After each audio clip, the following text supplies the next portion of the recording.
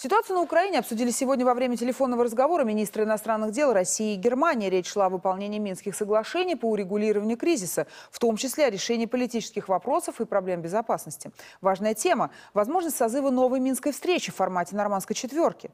Сергей Лавров заявил, она возможна при условии выполнения Киевом минских договоренностей. Добавлю, глава МИДа Германии Франк Вальтер Штайнмайер, действующий председатель ОБСЕ. Разговор состоялся по инициативе германской стороны.